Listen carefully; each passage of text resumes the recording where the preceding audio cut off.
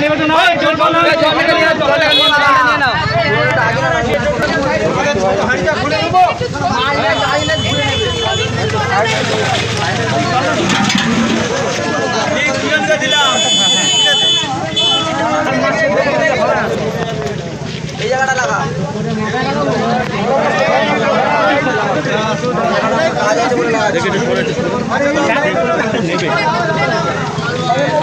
মাছটা ধরেছে? সবচেয়ে বড় মাছটা ধরেছো? সিলভার কাপ সিলভার কাপ ধরে সবচেয়ে বড় মাছ।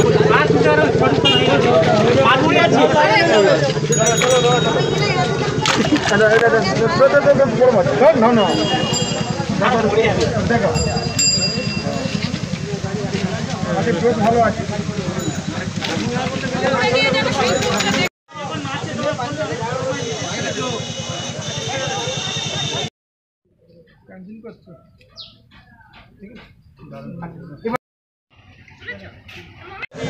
তেইশ জনকে দেওয়া হচ্ছে। তার মধ্যে একুশ জন সিঙ্গেল বেনিফিশিয়ারি আর দুটো হচ্ছে গিয়ে সেলফ হেল্প গ্রুপকে দিচ্ছি।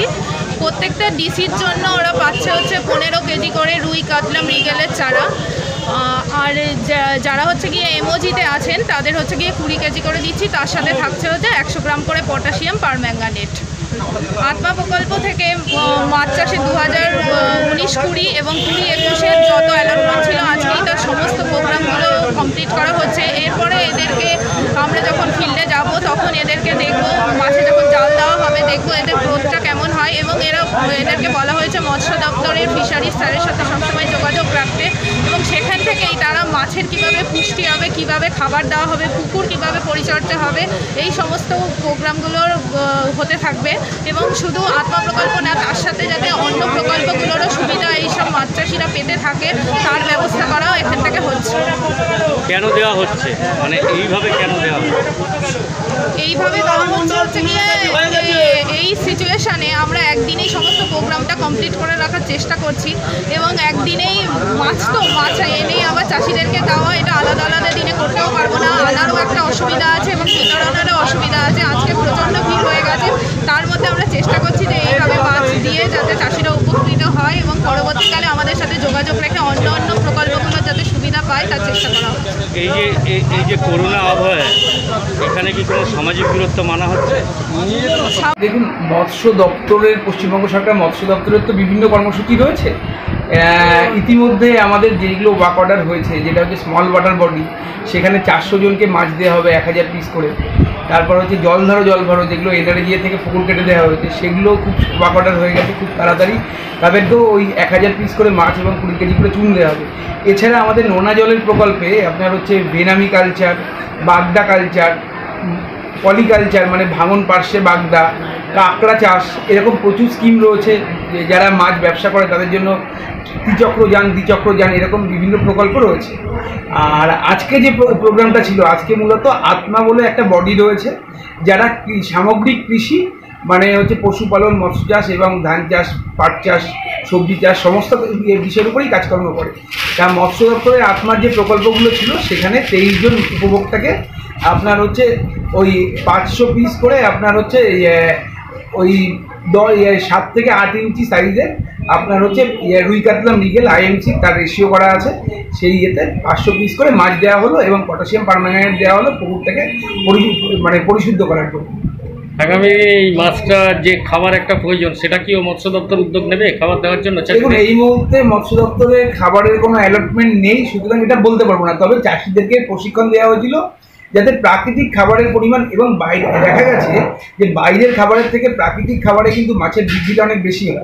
তা এদেরকে প্রশিক্ষণ দেওয়া হয়েছে যে কীভাবে প্রাকৃতিক খাদ্য মানে পুকুরে বাড়ানো যায় হ্যাঁ কি করে ওই যে প্রাকৃতিক খাদ্যের উপর বিস্তার করে। কেননা ক্যানিংয়ে কিন্তু প্রত্যন্ত এলাকায় প্রান্তিক চাষির সংখ্যাই বেশি, যেটা অন্যান্য স্টেটে মানে বিগ বিগ এন্টারপ্রাইজ যারা আছে, তারা মাছ চাষের সঙ্গে যুক্ত আছে, যেমন গোদরেজ, আইএফবি সিপি এরা, কিন্তু এখানে আমাদের ফার্মাররা অত্যন্ত মার্জিনাল ফার্মার তাদের পক্ষে কেনা খাবার দেওয়া অত্যন্ত মানে দূরহ হয়ে দাঁড়ায়। এবং সরকারেরও অর্থনৈতিক অবস্থা যে জায়গায়, সেক্ষেত্রে এই মুহূর্তে কোনো খবর নেই যে হচ্ছে মাছের খাবার দেওয়া হবে। সেক্ষেত্রে চাষিদেরকে আমি প্রশিক্ষণের মাধ্যমে যেটা বলেছি যে প্রাকৃতিক খাবার বাড়িয়ে এই মাছগুলোকে মাছ মাছটা সরকার থেকে দেওয়া হলো।